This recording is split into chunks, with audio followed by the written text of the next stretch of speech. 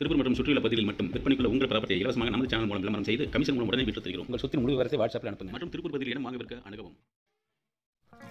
ஒரு வியாபாரம் பல மீடியேட்டர்களின் கடினமான கூட்டு முயற்சி என்பதால் இக்கட்டணம் முக்கியத்துவம் பெறுகிறது.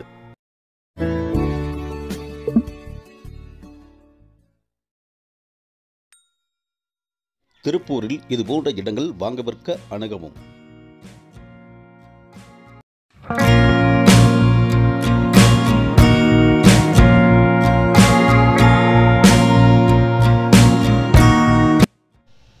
நாம் பார்த்துருக்கிற இந்த வீடு பார்த்தீங்கன்னா கிழக்கு பார்த்த மாதிரி ரெண்டு சென்டில் வந்து டபுள் பெட்ரூம் போட்டிருக்காங்க.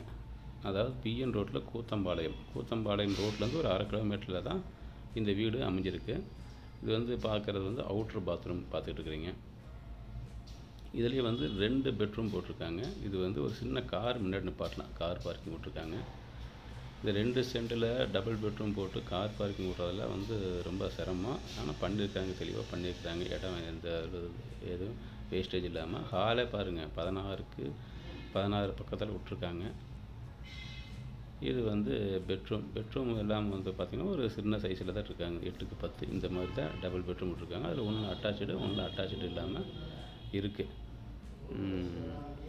பாருங்கள் எட்டுக்கு பத்து. இந்த இதில் தான் வந்து ரெண்டு பெட்ரூம் விட்ருக்காங்க ஏன்னா ரெண்டு சென்டில் டபுள் பெட்ரூம் விட்டு அட்டாச் பாத்ரூம்லாம் போட்டால் போட்டிருக்காங்க. நல்லா இருக்குது ஒரு அளவான ஃபேமிலி வந்து தங்கறதுக்கு சரியான ஒரு பட்ஜெட் வீடு தான். ஹால் நல்லா பெரிய ஹால்